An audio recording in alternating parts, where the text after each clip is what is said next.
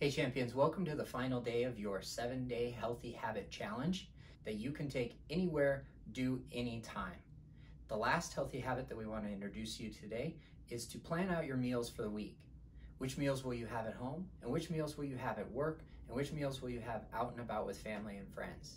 That way you can help make time to prepare your meals ahead of your busy work week so that you can save time and money while reaching your goals quickly and safely. Check out this final exercise that we have for you today and stay tuned for the end of this video where we're gonna give you a special offer to join the community today.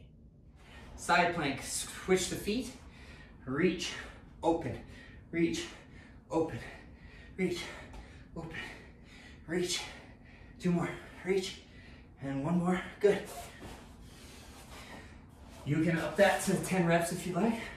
Reach, reach, reach, reach, four, five, and six. Thanks for checking out that exercise. I hope that all seven days have been helpful for you to reach your goals quickly and safely.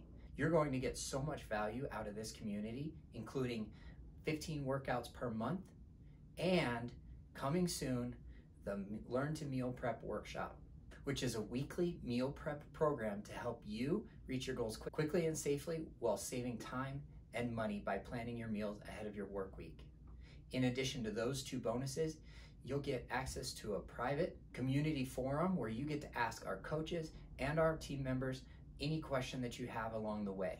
They're there for accountability, support, and guidance as you begin your journey to transformation. Thanks again for joining the Fit Life Champions community. My name is Dave Glaser. Welcome to the first day of the rest of your life.